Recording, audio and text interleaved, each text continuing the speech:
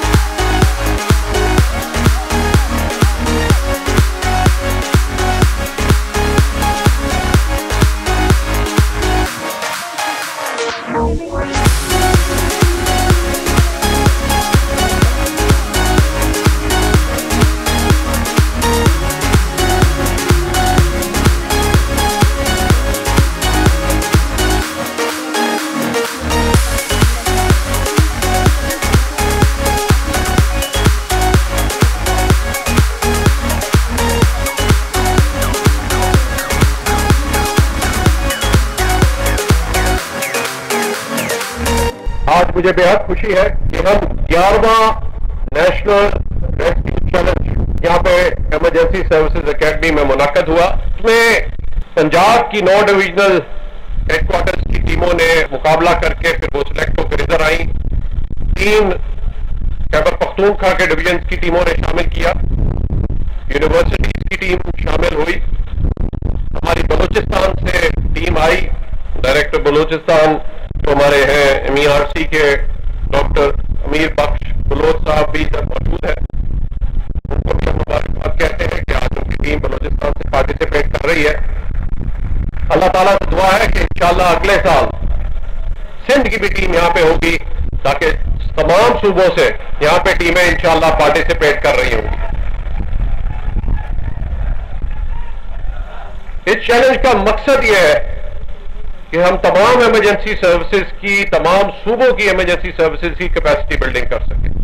تاکہ تمام پاکستانیوں کو یہ احساس تحفظ ہو کہ چاہے دن ہو، چاہے رات آندھی ہو، چاہے طوفان زلزلہ ہو، چاہے آگ، وہ ایک نمبر ڈائل کریں گے ایمرجنسی نمبر۔ تو پر وقت پیشہ ورانہ انداز سے تربیت یافتہ ایمرجنسی سروسز کے جوان ان کی مدد کے لیے تیار ہوں گے۔ آج نہ صرف یہ، ایک اور لحاظ سے بھی ایک تاریخی دن ہے۔ Rescue double one double two کا سفر جو لاہور شہر سے آغاز ہوا، چودہ اکتوبر دو ہزار چار کو آج اس کی اٹھارہویں سالگرہ بھی ہے۔ تو اس لیے اس پہ بھی میں تمام ریسکیورز کو مبارکباد دیتا ہوں۔